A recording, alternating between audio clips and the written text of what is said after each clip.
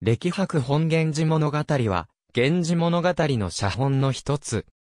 現在大学共同利用機関法人人間文化研究機構が運営する博物館である国立歴史民族博物館の所蔵である源氏物語の写本をこう呼ぶが、現在国立歴史民族博物館の所蔵となっている写本はいくつか存在することから、歴博本と呼ばれるものには以下のようなものがある。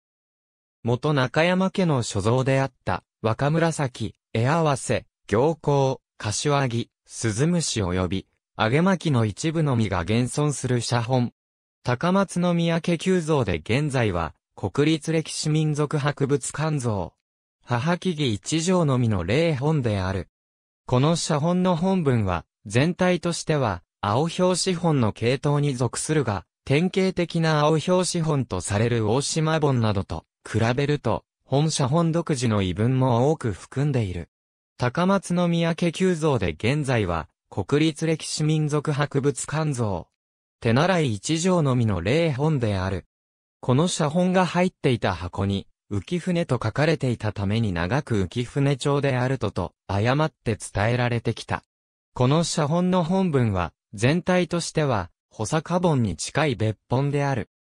しかしながら本写本の本文は、目移りなどに起因すると見られる単純な誤射により、生じたと見られる異文も数多く含むものの、単純な誤射によっては発生しないような別本としても、得意な本文を数多く持っており、その中には、現在知られている、どの写本とも一致しないものの、公害書が依拠している本文と一致すると見られるものも、存在している。